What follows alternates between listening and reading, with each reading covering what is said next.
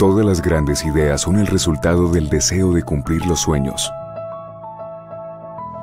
de encontrar respuestas a incógnitas que antes se creían indescifrables. Son fruto de la fascinación por lo desconocido y la pasión de mentes brillantes dispuestas a conquistar las estrellas. Las grandes ideas son la huella indeleble de la existencia de la humanidad. No es solo lo que haces por ti, es lo que haces por el futuro. Universidad Pontificia Bolivariana.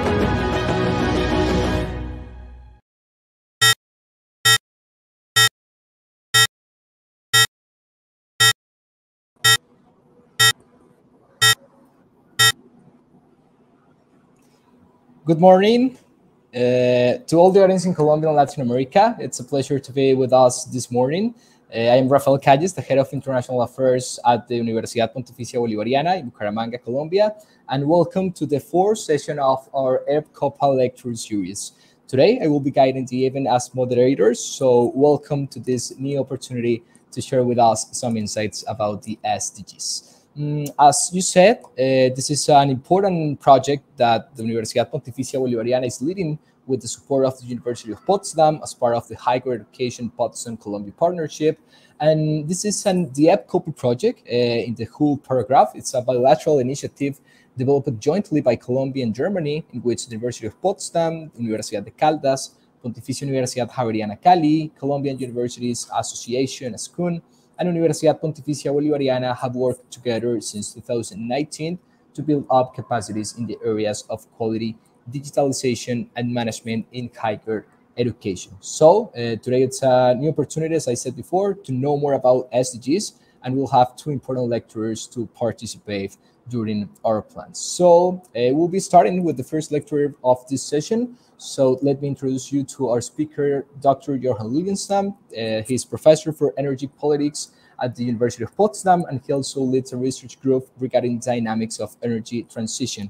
His research is centered around policies, strategies, and instruments that aid the change to a completely renewable energy system. And also his focus lies on the interaction between different political interests and goals. His work is supported by the European Research Council. So, Professor Johan, thank you so much for being with us today, and welcome to the HEPCoPa lecture series.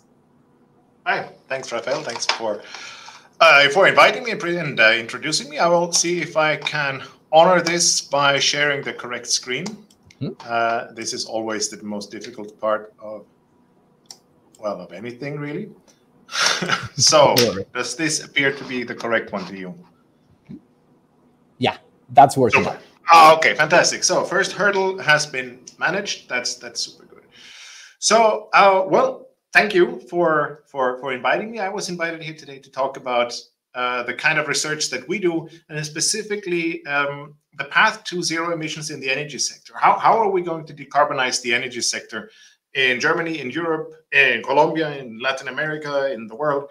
um, all, and altogether. And in particular, how can science help to, to do this? What can we learn from, let's say, objective science on, on, on finding out how to do these things? And this is, of course, a pretty difficult task because there are more, more or less, uh, let's say, uncontroversial statements from natural science about the climate side of these things, why we need to decarbonize, how far we need to decarbonize, and so on. But when it comes to the solutions, as we shall see, there are conflicting views on how we can do this, and I hope to show what these conflicting views are and which of these I believe is the best one and, and why that could be. So what I'm going to do today, I'm going to approach this from a sustainability transition policy perspective, from the field of transition studies, which is an interdisciplinary research field, but specifically looking at the policies for, for how we can. So if we think about this term, sustainability transition policy, which is an, an emerging research field uh, particularly in Europe, but increasingly also on, on the other side of the northern and, and also on the southern side of the Atlantic. We see that this sustainability transition term consists essentially of two different things. On the one hand, we have the term sustainability transition, which describes the kind of challenge that we're dealing with here. We're talking about change, systemically changing, we're talking about changing entire systems in a deliberate way. It's vision driven. We need to change from the system that we have today to some other system that we can only imagine today how it will look. But we need to move step by step towards this vision, towards this deliberately set aim. That's what a sustainability transition is about. Going from the today system that is unsustainable to the future system that is then hopefully environmentally friendly and durable for, for the long run. The second part of this term looks into transition policy, and that's easier to define because this is the, all the measures that governments need to implement uh, in order to achieve this envisioned future that we want to deliberately reach into the future. So if we look at these two different terms, they are, let's say, differently contested. So on the one hand, this sustainability transition, where we need to go, what is the vision, what is the end state of, of, of a sustainable energy system that we would need to approach, there we can rely on natural science to a relatively large extent. Because here are some, some completely uncontroversial things. We know that our the CO2 concentration in the atmosphere is increasing. And we know that the temperature is increasing, and we know that the main driver for these increasing temperatures is the increasing CO2 uh, CO2 concentration in the atmosphere. This is this is known. This is this is not not in the least controversial. We also know that the temperature reacts more or less linearly to the concentration of greenhouse gases in the in the atmosphere, which means that if we set a target of whatever temperature increase, we have of course in the Paris Agreement set a two degrees target, there's going to be a carbon budget attached to that, an amount of carbon that we can emit into the atmosphere before some particular temperature target has been reached. So this is an example taken from today from our friends at the, Mercator Institute in Berlin. They say at the current speed of emissions, the world has 24 years and five months left before we have met the carbon budget that is permissible under the two degrees scenario. And after that, we have no chance of reaching the two degrees target at all. So these are things that, that natural science can tell us. They can help us define the future, the, the needs of the future, the place that we need to go to in the future. And this has been transposed politically into the Paris Agreement, which has set these targets of limiting global warming to two degrees or preferably even one and a half degrees above pre-industrial times. And what these things taken together mean, like the observations of CO2 concentrations, of temperature, and this realization of the carbon budget combined with the political target of, of the two degrees, the two degrees target, means that over the long or short term, but probably sometime around mid-century, the Mercator Institute says in 25 years, we need to have reduced our emissions of greenhouse gases into the atmosphere to net zero. And, and this zero is, is something new. Before, 10 years ago, 15 years ago, we thought, well, maybe it's enough if we reduce our emissions by, I don't know, 50% or 75% or 80% by mid century. But now we know we actually need to reduce net emissions by 100%. We need to go to zero. That means that we really need to change the system completely. We need to somehow fundamentally change the way we produce and consume energy. And that then leads to the question of how are we going to do that? The second part of the sustainability transition term, the, the measures. What are we going to do? How are governments going to achieve this target? And here, there's a lot less clarity, let's say, than on the natural science side of things. If we turn to policies, certainly in Europe, but I would argue around the world, really, we see that carbon pricing is the dominant uh, climate policy proposal. We need to put a price on carbon emissions, or people will not stop emitting carbon or they will not adjust their, their, their production use the production processes they will not adjust their, their consumption patterns so in the german context for example the, the German Council of Economic Experts advising the government says that the Paris Climate Agreement targets require effective and efficient implementation and a global price on, green, on greenhouse gas emissions. So they even say not only could we have a carbon price, they say we must have one, and that price must be global, so spanning all countries and all sectors in the. If we look a little bit closer to actual policy making, for example, what the European Commission is in increasing or um, what they are proposing at the time, they're proposing a whole bunch of new climate policies as we speak for them, updated and more ambitious climate targets that we have decided here um, in Europe. And if we look closer on these measures, they are essentially EU ETS, this is emission trading, that is carbon pricing. The market stability reserve, that is an instrument to fix the emission trading scheme, to fix carbon pricing and so on. It's carbon pricing, it's carbon pricing, it is carbon pricing. So we see wherever we look, when we look at climate policies and how we're going to manage this transition, we see carbon pricing. And uh, some colleagues and I looked at the evidence of existing carbon pricing schemes from around the world to say, well, I mean, if we're going to rely on carbon pricing, then we must know how well does this instrument work? What are the types of effects that we trigger by that? And one of the very surprising things that we found was that carbon pricing has existed for 30 years, but there's only very little empirical evidence of the effects that it has at all. This we found 29 articles. I'm aware of two more that have been published since our paper was done, but it's really little evidence of that. And if we turn to the evidence that we have, don't worry, I will talk you through this in a, in a useful way, hopefully. We see that it's a little bit bleak. So if we look at the two effects that are most important for a climate policy, looking at emissions and looking at the types of investments that this policy improves, we see that there's, let's say, mixed evidence for one and bleak evidence for the other. In terms of emissions, we see that emission trading schemes, the EU ETS, and carbon taxes in different places of the world have sometimes been shown to have some effects, sometimes been shown to have relatively large effects, but it's a little bit a mixed picture. And in the schemes that where we have can identify that they have had relatively strong effects, this would, for example, be the carbon tax in British Columbia. This would be the carbon tax in Sweden, that are also among the highest in the world. We see that they have reduced emissions. That we can we can really measure the effects of this. Um, and the reason why they have reduced emissions is in all cases, or almost all cases, operational shifts. It means that they have triggered an effect within existing fleets. We have because of the carbon price uh, in countries that have a coal power fleet and a gas power fleet, we see that these countries use their coal power a little bit less and their gas power a little bit more. And because gas power is less carbon intensive than coal, then that reduces um, emissions. We also see some investments in improved efficiency, so insulation of houses, better boilers in industry facilities, and such things.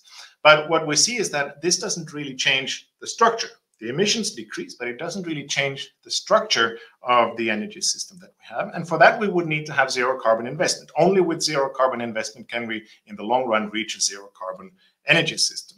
And here we see that, first of all, there's very little evidence for zero carbon investments effect of these types of schemes at all. There's no evidence that this type of scheme has had zero has triggered zero carbon investments at all. And all the evidence there is suggests that the carbon pricing has so far not triggered any investments in zero carbon technologies in reality. They do so in economic models, but they have not been shown to do so in reality. Now, this, of course, then raises some controversy uh, with economists in particular, and people will complain about our paper. Many people have complained about our papers as well, saying, yeah, sure, but the reason why there have been no effects is because prices have been too low. And this is the stand where we are now. We're discussing this. Is that really true or not? And I just want to raise the question if we look at how high carbon prices actually are. This is a collection of the carbon prices in all countries that have a carbon tax in the world at the moment. The blue bar is the initial tax that they had, and the yellow bar, um, the orange bar, is the price that they have at the moment. We see that the evidence that we have collected or, or found in the literature is only from these high price countries that do not really have a very low carbon price. But of course, sometimes the prices in the investigated periods in our review were not particularly high, meaning that there's some truth to this. The prices that were investigated in our review were something about 13 to 40 euros per ton in most cases, and in some cases, like Sweden, the prices were considerably higher. But it's a question, it's a matter of discussion whether the low price is one of the reasons why the effects of, of carbon pricing have been very low in the past. I would guess that it is a part of the explanation. But in the second part of my talk, I will also argue now that this is not really the whole reason. We have big reason to believe that there are more fundamental problems with this carbon pricing instrument that stand in the way. So what we have in, in climate policy is essentially a conflict between two different types um, of, of two different mental models, you could say. On the one hand, we have the neoclassical model that we most of us have probably seen in school, maybe at university as well, where we have, uh, we have supply of things, a rising cost curve, and we have uh, a demand curve that uh, with the utility or the price, the value of these products decrease uh, with, the, with the amount that we consume. These lines intersect at some point, and if the market uh, is left to itself and is undisturbed, the market will self-correct back to this equilibrium point, and we get this invisible hand of the market that clears the market at the point at the intersection point of these two lines. But as I said, there can be many different types of interferences in the market. And one type of interference or one type of disturbance in the market could be that there is a so called externality, that there is something that happens in this system that causes costs that are not priced in, that no one really carries the cost of that, but the society as a whole carries that cost. And carbon emissions is one such thing, right?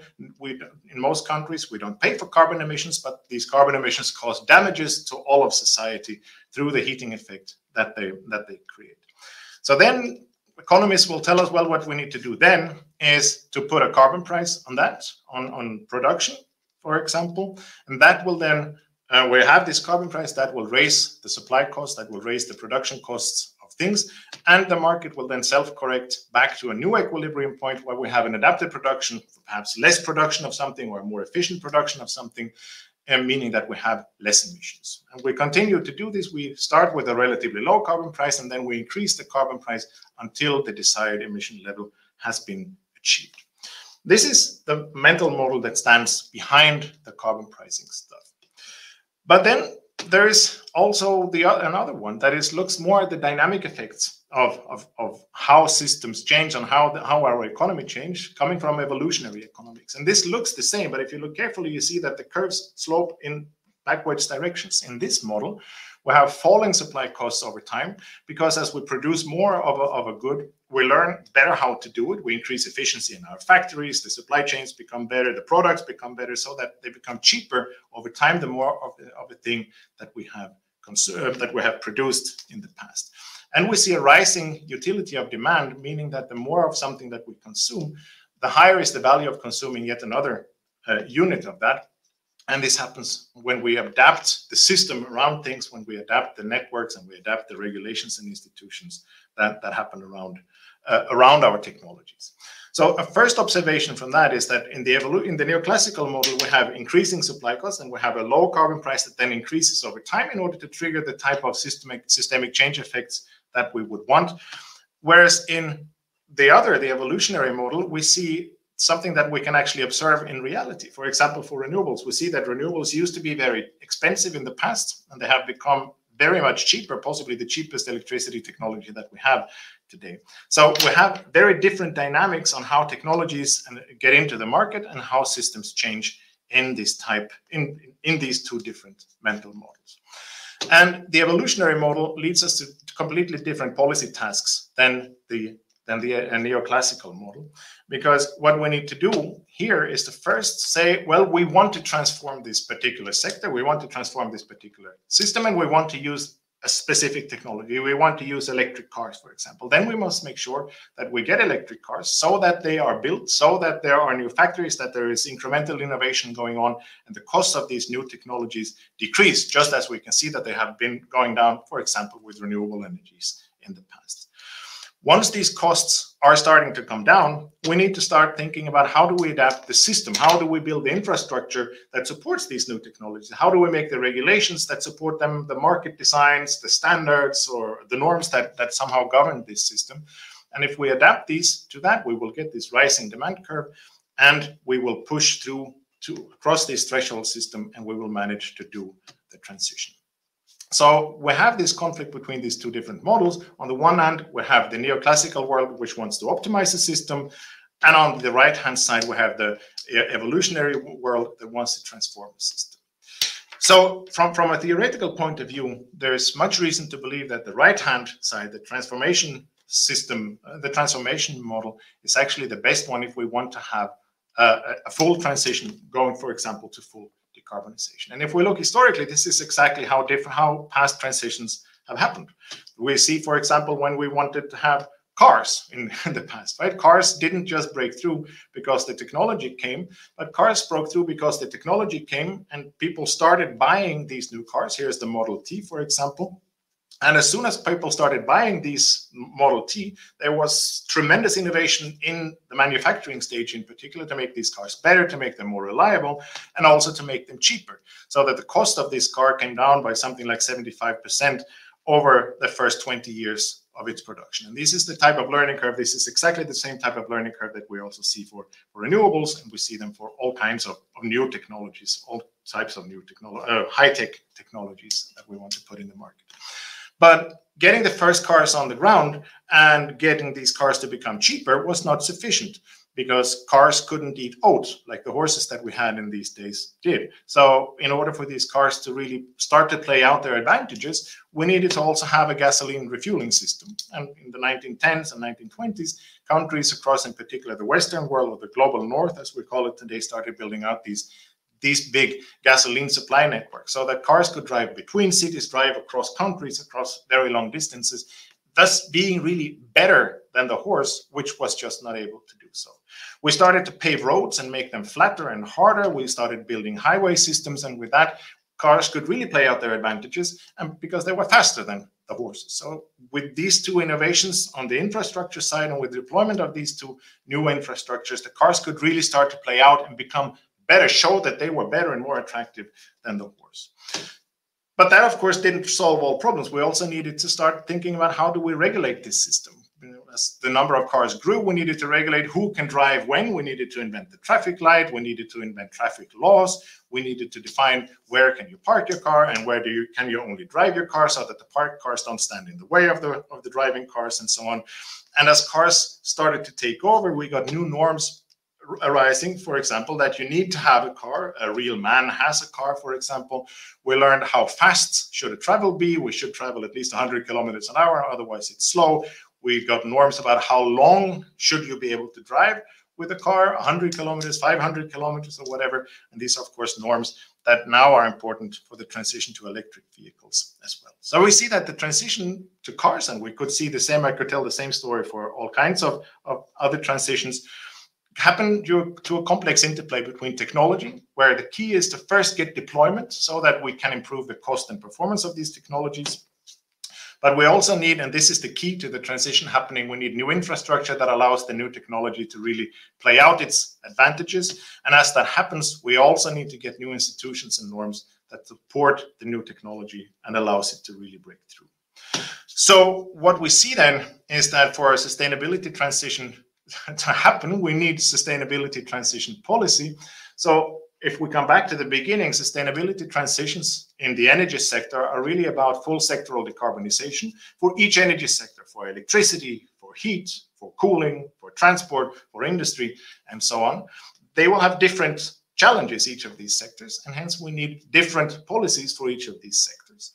And for each specific sector, transition policy means that we need a sequence of sectoral policies addressing the actual barriers that stand in the way of this transition in in reality in the context that we are particularly in at the moment. So i want to just close this by, by bringing an example what sustainability transition policy means. If we really break it down into into chunks and into these stages what's the sequence of transition sustainability transition policies that i just spoke about could mean. It means that in order to get a sustainability transition to happen at all, we first need new technology. We need invention. We need people who invent new cool stuff. Here's uh, some some guy who has apparently developed a, a, PV array, for example. And many people do this. Companies do this to in, in order to develop new technologies and, in particular, better technologies. And the, the technologies that we are interested in here are better in the sense that they are cleaner, that they actually lead us onto this zero carbon future. The policy measures that we will need at this stage are research and development funding in particular. Once we have the technologies, once they exist, we need to bring them from the lab onto the market. We need market introduction policies such as subsidy schemes, they can be public procurement programs, and so on. And the aim of market introduction is to get investment in the first deployment so that we can go through the cost reductions that we need, that we have seen for the Model T Ford, for example, that we have seen for PV, that we have seen for wind power, and that we're presently seeing for electric vehicles. But that's not enough. Once we have these technologies and they are starting to become good and affordable, we need to go into the third stage, to the diffusion stage, to the mass diffusion stage of these new technologies. Here, we want a rapid and consistent expansion of these new technologies, leading to displacement of all the old stuff. And in this stage, which is where we are in electricity, at least in Europe, we are going to see policy measures that mean we need decreasing support. Possibly we don't need any support at all. Possibly we need to tighten standards so that we actually get rid of coal power and so on. But what we in particular need at this stage is infrastructure adaptation so as to support the needs of these new technologies and allow them to play out their advantages. And we need to start seeing first the institutional reforms of fixing regulations, of fixing the, the way the system is organized in order to support these new technologies. And the ultimate aim of all of this stuff comes in the last stage, the stabilization phase, where the new technologies that we picked, possibly decades before, have achieved market dominance. They have created a new normal. They, they, they are the system. They are what is there, right? They are not strange anymore. They don't need to be supported anymore. They are just there and have become the way that we produce electricity or heat or the way we transport ourselves around our cities and countries. And at this particular stage, policies will often not be perceived as policies. They will be regulations of what you are and what you are not allowed to do, just as we don't question where you're allowed to park and where you're not allowed to park today.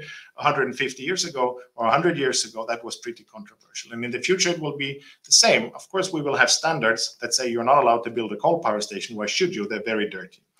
You will need standards. You will need possibly need bans on the old technologies if they haven't died by themselves. And you will need different types of other funds, maybe social programs to cushion the effects of the other declining elements. So this is in a nutshell on this slide, I think, with an admittedly hasty and, and hopefully not too confusing presentation. Um, this is what sustainability transition policy tells us. Climate science tells us where we need to go. But if we follow this type, this style of recipe for designing our policies in a sequential manner, sector by sector, then this is what we can learn about how to design our frameworks to get to these zero carbon futures in a reasonable time, perhaps by mid-century. Thank you. Professor Johan, thank you so much for your participation and for this interesting lecture. It's incredible to know how important this topic around CO2 emissions it's doing, and also it, it's going well because it's like now a responsibility from different point of views. As you said before, companies, uh, probably social and, and, civil organizations, and also the academy. Uh, we are all around uh, a common objective and also milestone, and let's try to, to be more sustainable. And that is one of our points during this lecture series, talking about how the SDGs uh, in this paragraph and, and medium term for 2030 uh, could be achieved at more as, a, as it will be possible. So that's a, a, very good point. We have some questions uh, in the in the YouTube chat, Professor Johan. So the first one is from the Seccional Santanderes and said, do companies today need to reduce their CO2 emissions to be socially responsible? Well, I guess that's that's a normative question. It's hard it's hard to, to give a give a definite answer on that. I believe that companies are well advised to think about ways to reduce their emissions and to eliminate their emissions. How are they going to live in a zero carbon world for competitiveness reasons? This is one of the ways that they can ensure that they actually exist in the future. And that's things that these are things that companies very much need to consider. Who is is not socially responsible, I think is a is, is, is a difficult question to answer, and it's it's not always a super constructive question to ask because it puts quite a lot of blame. So I would I would rather go go the other way around and see what are the opportunities, what are the chances for companies on the one hand to generate new growth within their within their organizations, but at least also to deflect harm. How can they decarbonize in order to stay in business also in the long run?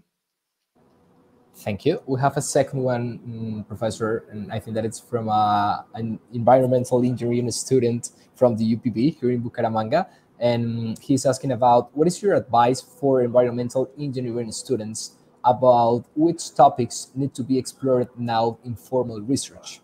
Probably like in tendencies or, or some recommendations for research. Okay.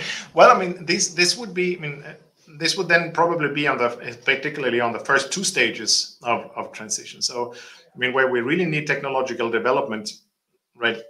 Let's say basic research are, for example, in in the industry sector and in heat sectors and in high temperature heat sectors.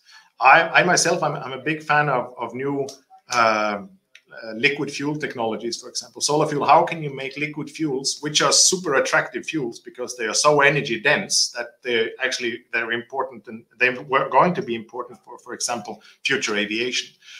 They are very far away from market readiness. We have some avenues for how to, how we could possibly do this, but we really don't know which of these which of these technological routes will work that type of, of, of, technological setting where you really think where are the biggest where are the hardest nuts to crack in the future. And i would think they are in the liquid fuel segment.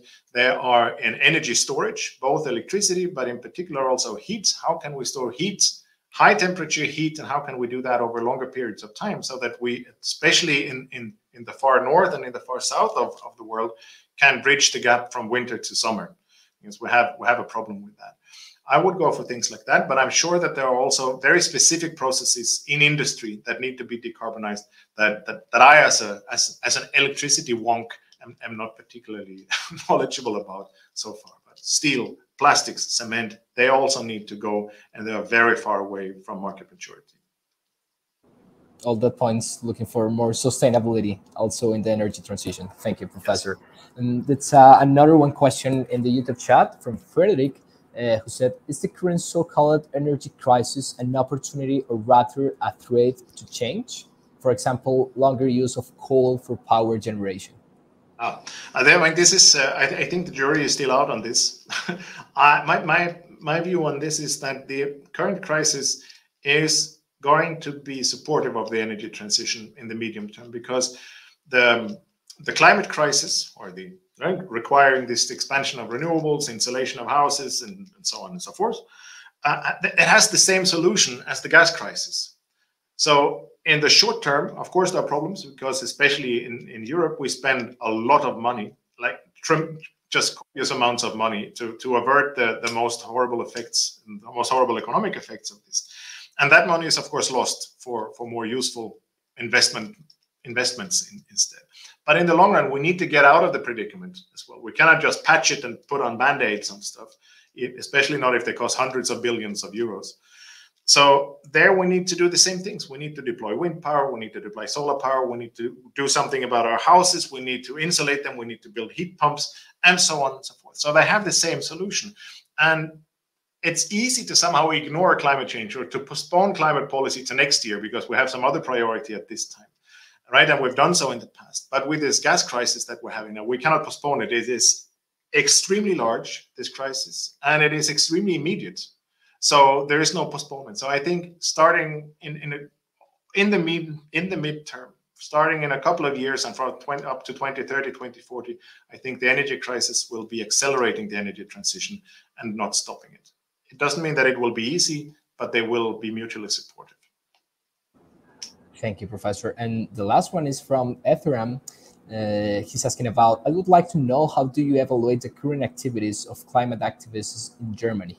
Do you think it will have a positive impact on the climate issue in terms of policy making? I mean, the um, climate activists in Germany, they are very much in the in the media at the moment because they are throwing uh, mashed potatoes at Van Gogh uh, paintings and they are gluing themselves to streets and blocking traffic. And there was a big uh, event in, in Berlin last week where a bike rider was hit by a cement truck and she died eventually. And uh, these demonstrators, these activists, apparently blocked the highway so that the fire department arrived later than they would have otherwise. Um, whether that is what triggered her death, I think that is uh, out for discussion. I think the concrete car is what killed her, but, but but nevertheless, so there is a big discussion about these things. I think there are two answers to to, to give to this question. Um, I mean, whether or not this raises attention for climate issues is I think it does raise attention for climate issues because it shows that that there are many people out there, there are many young people out there who are very desperate about it, who are very serious about it. And are, are, they are putting climate change on the agenda every now and then, even though it is to a large extent negative attention that they are attracting. Um, but then, I mean, in, in, in the end, what we also see is that conservative politicians, conservative, the conservative spectrum of, of society is also using this to put blame on them. You cannot destroy these paintings, and, and they don't destroy them because they are protected by glass so that mashed potatoes don't actually reach them. You cannot stop traffic because look at this, how, how horrible with this fire truck. And they are using this as an argument to stop, to discredit the whole climate movement, to discredit climate policy uh, as well and as a proxy. And I think that is a little bit dangerous, actually. So I would, my personal advice, but this is advice and not at all just based on my on my research, but just my my observations.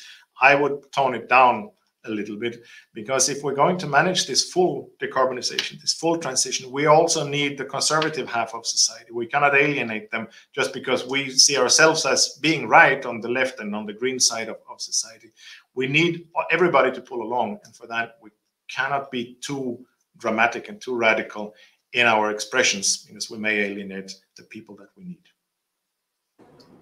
that's a good point and an excellent final message, Professor Johan. Uh, I am totally agree. If mm, we are trying to do, and um, if, if, if, each one of, of us has the opportunity to, to know more and also to, to make some impact with different actions in terms of transition of energy and also trying to be an example probably in our families or in our academy and universities in each one of the of the environments in which we are participating also we have more push also more opportunities to know the benefits of the energy transition also to the to the general population. So, Professor Johan, thank you so much for being with us. Uh, it's always a, pleasure to have you here uh, as a, a, usual lecturer into our HEPCoPa lecture series. And thank you so much for your approach about this internship topic and, and also all the best for your future research and also approaches in these interesting topics. Thank you. Thanks for having me. So, see you next year, I hope. Thank you. Yep. Bye bye. Well, after the presentation of the Dr. Johan Lilliestam, um, we are ready now to go for our second lecturer of today. Um, at this point, let me introduce you to Professor Dr. Hans Hennig von Grünberg.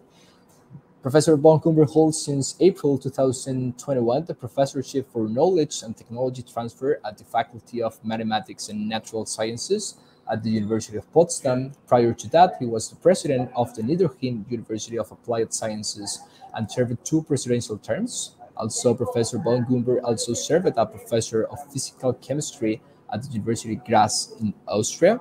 Also, in 2017, he was named University Manager of the Year by the weekly newspaper Die Zeit at the Center for Higher Education Development, CHE. So it's a pleasure as well to have Professor von Grünberg here with us. Professor, uh, welcome and thank you so much for being with us in the HEPCoPa lecture series. Thank you very much. Good morning to you and good afternoon to, to the rest of us. Um, can you call up my presentation, please? Yes, of course. Give me a minute and I will be in the background, but um, let me know if you can see the presentation yes. in the in the good side.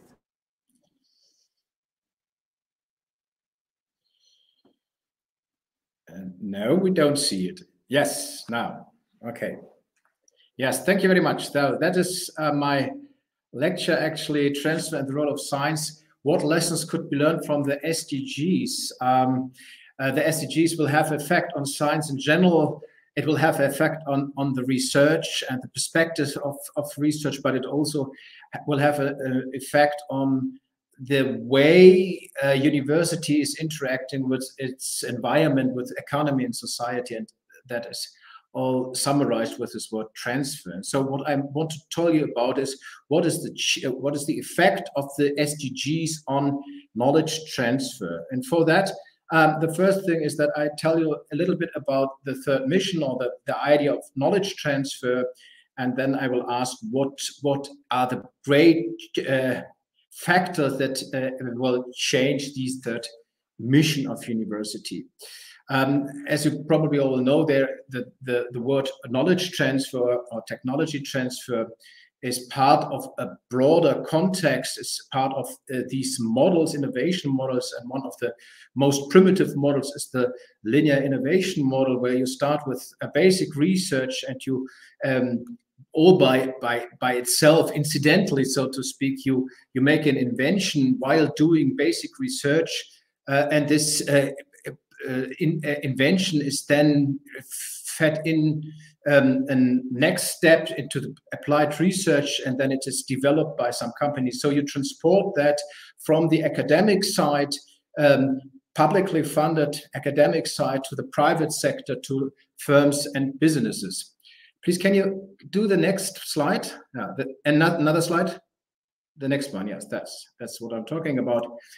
Um, and um, so this uh, linear innovation model is basic research, applied research, then the technology transfer from the public side to the private side, and then the business or the company will do the development, will end up with a finished technological product, and then everything goes to the market. That is the linear innovation model in a nutshell, and it of course aims at commercializing research, the results of a research project, but the research itself is not aiming at uh, producing innovation, but the research is aiming at yes, fundamental knowledge. And it's a model that is outdated today. It's, has never been empirically based, but it has dominated the science, technology, and innovation policy over years, over decades, actually. And please, next slide. And it's replaced by more sophisticated models um, that is not the uh, the, the up-to-date model. It's it's the triple helix model. We are now having the quadruple model and even the quintuple model. But this is a model that explains um, much more realistically, in a much more realistic way, how um, innovation is triggered and where innovation uh, comes out of. The basic assumption is here that innovation emerges in the interaction of three different domains science, economy, and the government. And it is a result of a dynamic exchange of all of, act, of actors from all these three domains. And it is uh, happening uh, especially in the overlap region of all three domains. So science uh, must uh, do a research project that has some relevance to economy, the economy must start to uh, be interested in scientific project, must start uh, being interested in well offering some problems to science that is interesting to the scientific domain. And the state at the same time has to organize funding in such a way that this interaction between science and economy is working. So all three systems overlap and now a quotation with, from Etzkowitz and Leydesdorff, with each taking the role of the other and with hybrid organizations emerging at the interface. Now that is the that is um, a more sophisticated model of how innovation comes about. Please next slide. Um, and if I offer you three uh, definitions of the third mission, um, then you will see how much uh, it has changed over the last two, 20 years. At the beginning of the 1990s, uh, the third mission or the knowledge transfer of a university was simply um, defined in such a way generate profit for the university by means of commercializing academic knowledge. So that is a simple inside out perspective. Take your results from your university or from the research in your university and try to make money out of it.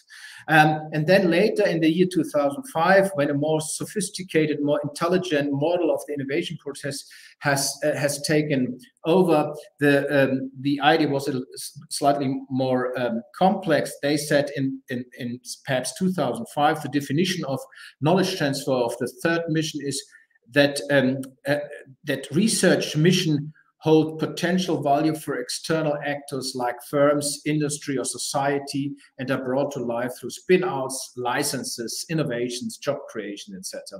So what the, in in those days, what they thought is the university has not just research results, but many other um, options and, and, many other offerings to society or economy, but still it's an inside out perspective on knowledge transfer. Um, and today, uh, the, the, the, view on uh, third mission is on, on uh, transfer is university represents an engine of knowledge creation for public purposes and is expected to interact with industrial partners, policymakers, and cluster organizations to create value for society. So the uh, underlying assumption is that university is not doing something by itself, but university is a public institution uh, uh, providing service to the public, to the society, and it has to deliver.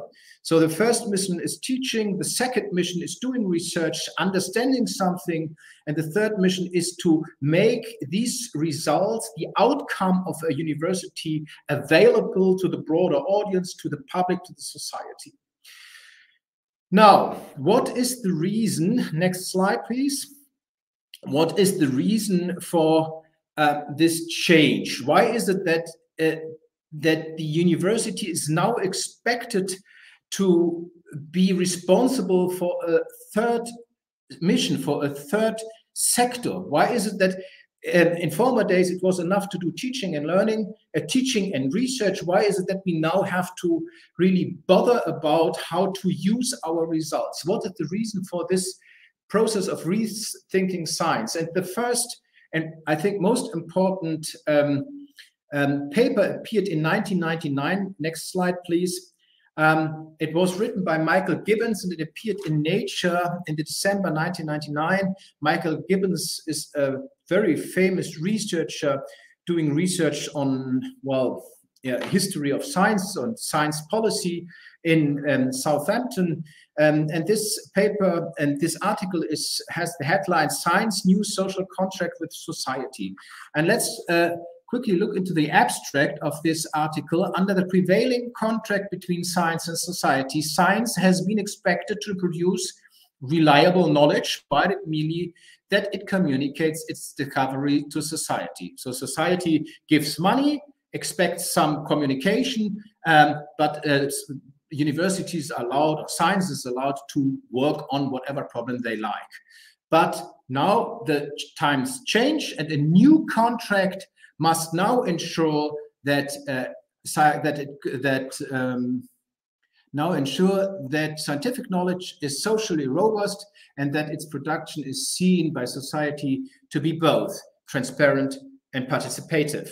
So a totally new attitude towards science. And this um, sentence uh, is very, um, I have taken from this article, and it is very, it, it brings the thing to the point. Not only can science speak to society, as it has done over the past two centuries, but society can now speak back to science. And that is new. Uh, in the 50s and 60s, the society was like a stupid kid giving money and just listening to science and science communicate whatever they like to communicate about. But society has grown up, so to speak, and is now able to um, really uh, speak back to science. And what do you think will they speak about? They will, of course, um, demand something. They will demand uh, research activities that have some societal impact. So uh, about uh, these years, it's this, this idea of societal impact, doing research with an impact uh, that started, I think, with that paper in the late 90s, early uh, uh, 2000 years.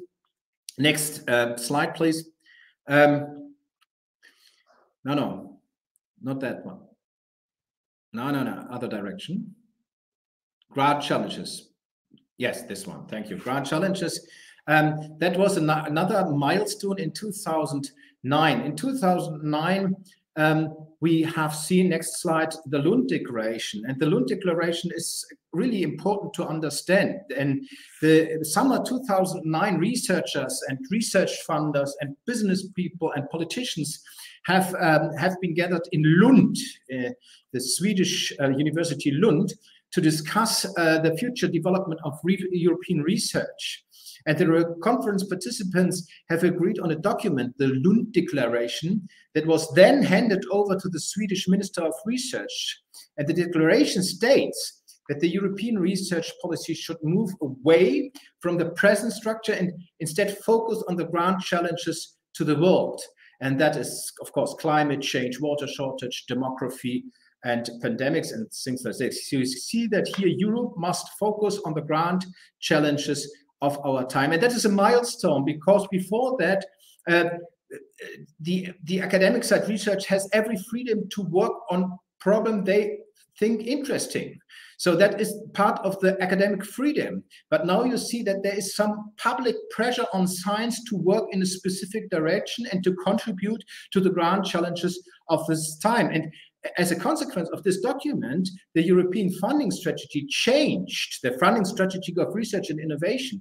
They, with the European Horizon program, the European supports excellent science, but more importantly, the European Union supports research following the mission connected to the SDGs and connected to the grand challenges of our time.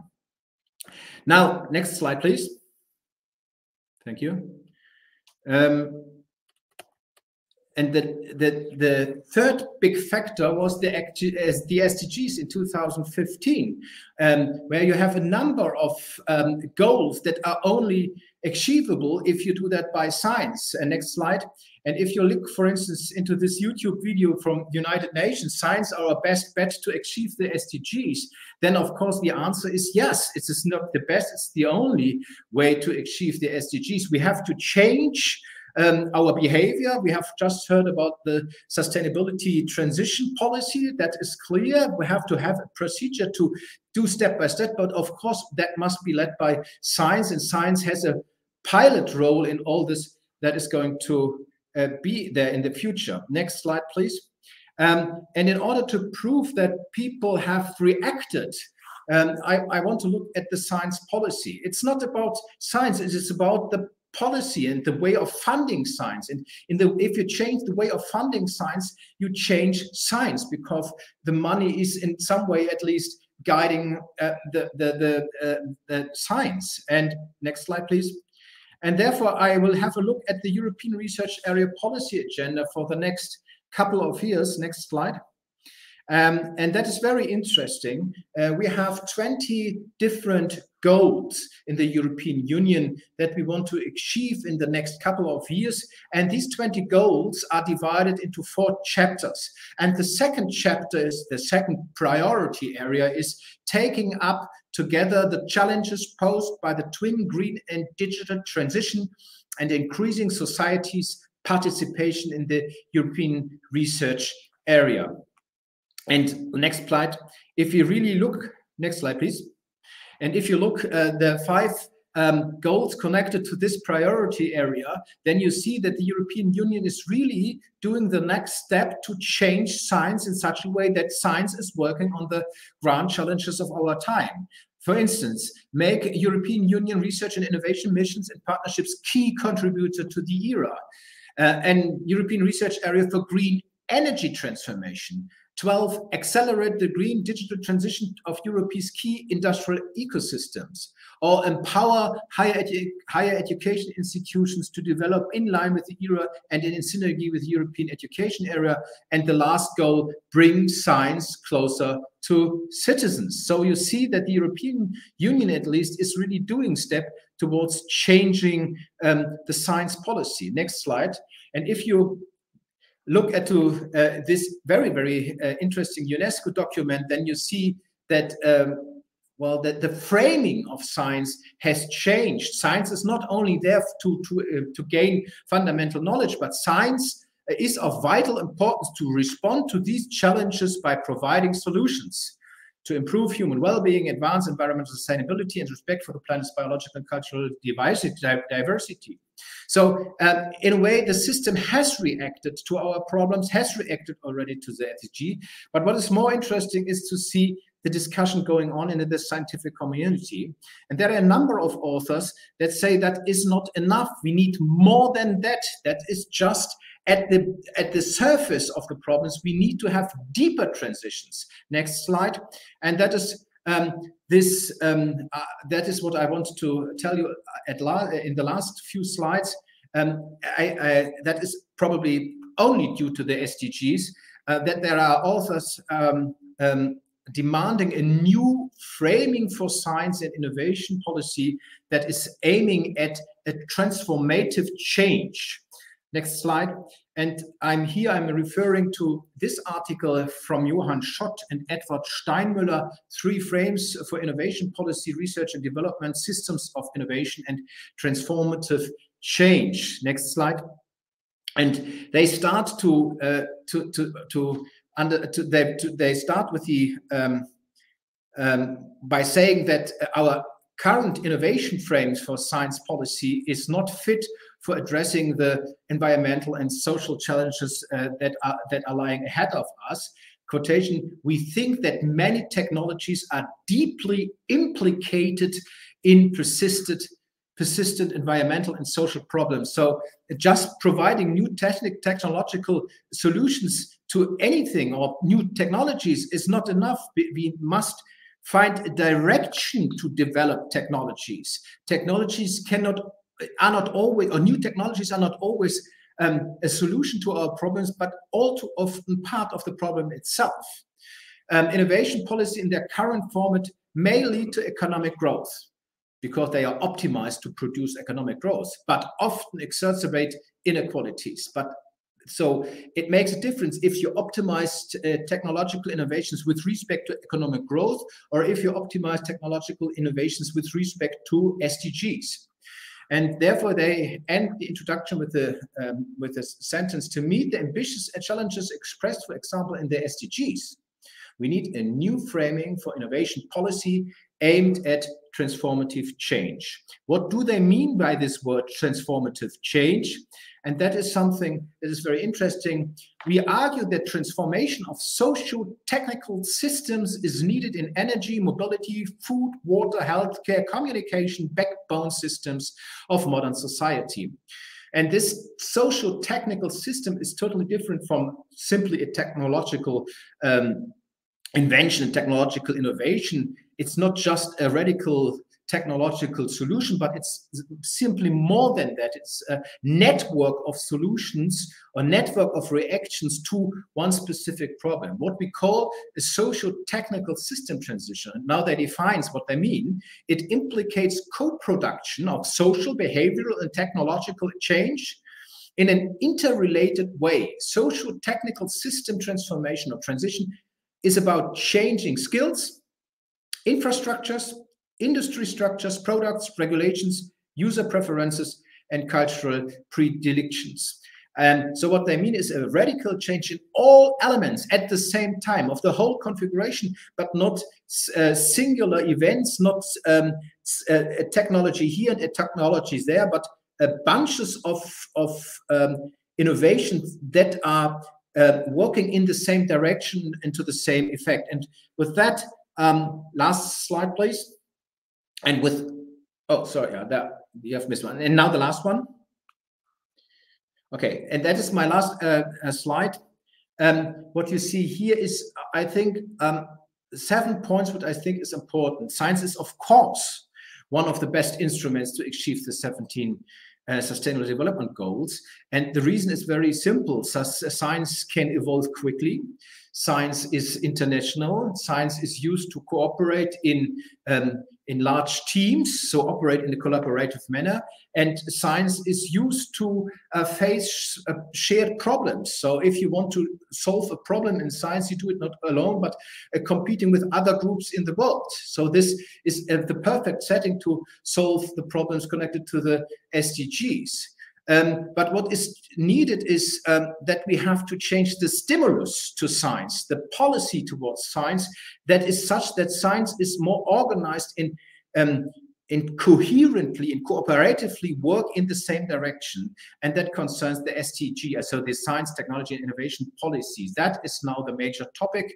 Um, the third thing that is to be changed is that the gains and results of science must be distributed in a fair manner all over the world. If you think of the co um, vaccines for uh, COVID that was not distributed in a fair manner, that is now something that we have to work on. The fourth point is also important. Solutions suggested by science must be shared and applied everywhere. It's useless if it's just applied at one point. The fifth point is that science should switch a mode of organizing itself via missions. So either you can change science by giving money in a coherent way for one purpose, but you can also um, ask science to um, work according to missions. So a mission-driven science, and that should change really a lot. Um, what you want to have is that the strategy of universities, the strategy of academic institutions, uh, but also the strategy of funding organizations must be um, summarized with a mission so that with a, that you know this university or this academic institution is working with all its research projects with all its transfer projects towards a common goal towards a mission. And this mission of course must be aligned with the sdgs and the next point is that um, yes, that's what just says. The mission must be designed such that they are consistent with the SDGs and the Paris Agreement on climate change. Um, and the last thing is, of course, we have to be more intelligent in the way we organize our teams.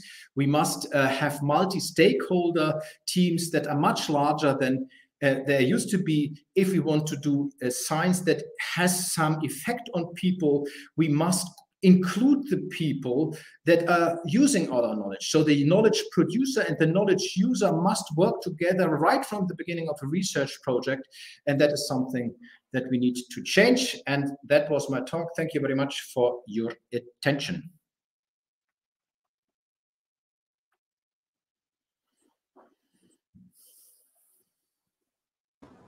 Thank you so much, Professor, for this interesting presentation. I think that we need to highlight some interesting points that you mentioned it before, and I am totally agree about this perspective about collaboration because it's totally important to collaborate if we are trying to achieve more results in terms of, of sustainability and also to achieve the SDGs. So probably from the academy, uh, probably we will need to to participate more with the external audiences and also uh, gaining more population to to interact with them. Also to transfer that knowledge and that science as you said before uh, like more equitative and, and also well distributed. Because in so many cases probably we are facing or also we are concentrating some information research or also knowledge in, in specific populations. But obviously we need to to try to be and to have like equilibrium to, to achieve the SDGs at the same point and, and also trying to, to gain more attention of these kind of topics. So we're ready to receive your questions in our YouTube chat. And I want to, to start with a question,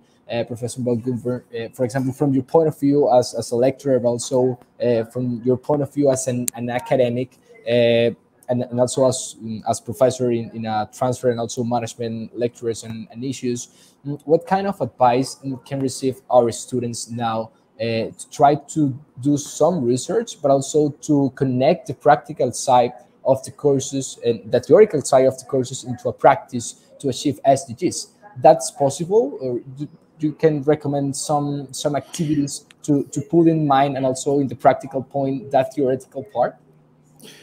My, my personal opinion is that we, we, we are doing enough of research. Research is uh, by some way uh, done automatically. Um, and we have a number of uh, institutions not doing research. But what we are not so good at is to uh, to make something out of this um, research to really transform this research results into something into, into a new product into a new process. So the conversion of our ideas into reality into the practice. And that is something that we are trying to improve on uh, by at the university by working out new strategies how uh, everything that is taught in our university, everything that is done in, in, our university, everything that is written down in the university is is handed over to people that are able to make something out of it. So it is that is something the new paradigm that that you must uh, as a researcher you must not say okay i have understood something. I've written down it in a paper. It's published anywhere and that's it. I go home. No uh, that is the moment where you have to organize the transfer bridge. You have to see how somebody else is using your results somewhere in the world and is making something out of it. And if I were a young student, I would start doing something, but not writing something. Writing papers is okay to make an academic career, but I can tell you in 10 or 20 years, um, it will not be so important how long your publication list is. It will be more important that you do a science that has some effect, that you do science that is contributing to the problems of our time. Thank you, Professor. That's totally right. And I am receiving a, a second question that is totally related with this, and it's about uh, the new framework that you mentioned it uh, for science and also innovation, uh, like an effect of the SDGs. So the, the question is, uh, what we need to pursue or, or, what we need to, to follow up uh, to achieve a well integration between innovation and technology. Because as you said before, probably technology is in a level, but also the needs and the accomplishment of the SDGs is in another level. So how we can integrate at, at the best side the innovation with the mm, also support and the innovation in terms of technology uh, to do a, a world transfer in in our audiences. Um, so this third frame of uh, Schot and Steinmueller that is extremely exciting because they say well we have to as a scientist we're not only responsible for producing single uh, research results and then perhaps single innovations a product innovation a process and whatever but we are also responsible for organizing teams such that we have a change of the transformation that the technical system the social technical system as such is changing. So we create or we we, we are part of the cre creative team working on this change as such and the transforma transformative change it's it's very uh, very much um, related to what we heard before the uh, sustainable transition policy. Uh, and that is not only a matter of the policy makers, because a policy, a politician can just give money, that's all. He cannot do it. But uh, the people that are able to do it are coming out of, of the universities. So we, as a university, must, feel responsible not only to think about the future, but also to, to do something with our hands and, and to change it really. So being responsible for the transformative change, I think, I think that is an exciting new idea.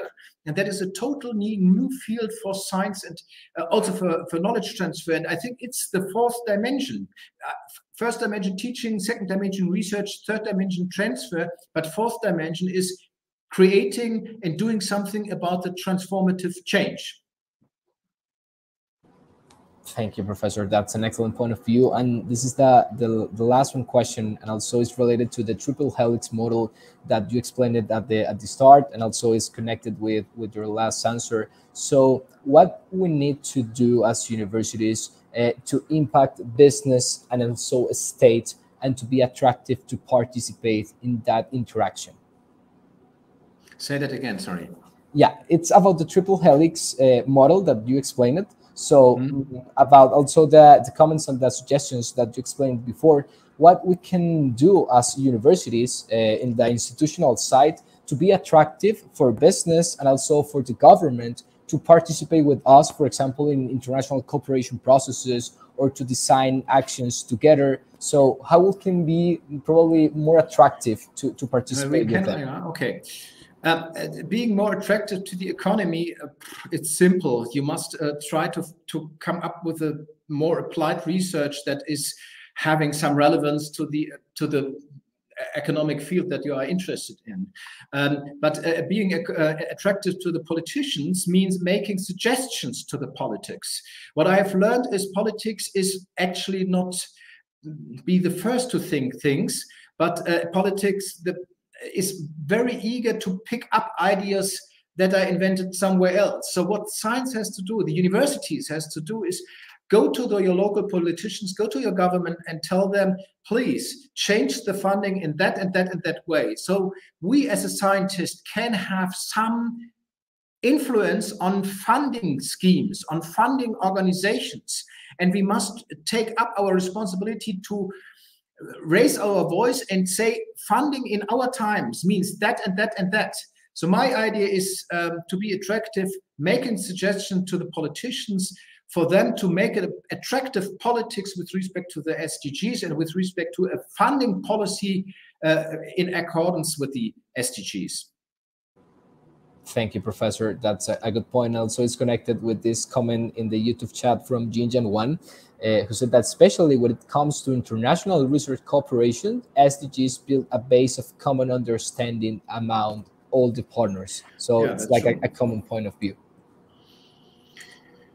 So thank you so much, Professor von Grünberg, for being with us uh, today in our lecture series. I think that it's a, a totally interesting model also to adapt. Uh, we are also doing a lot of cooperation between Germany and Colombia. And, and one of the interesting points is that we have a lot to learn from your side, but also there are some initiatives or probably insights in Colombia that also uh, can be interesting for, for the German institutions. So that's the, the plan. And also this inter-universities cooperation, it's also an opportunity and an action to, to be more attractive, to gain uh, also yeah. transfer actions and to achieve the SDGs. That is our plan also with this interaction in the lecture series.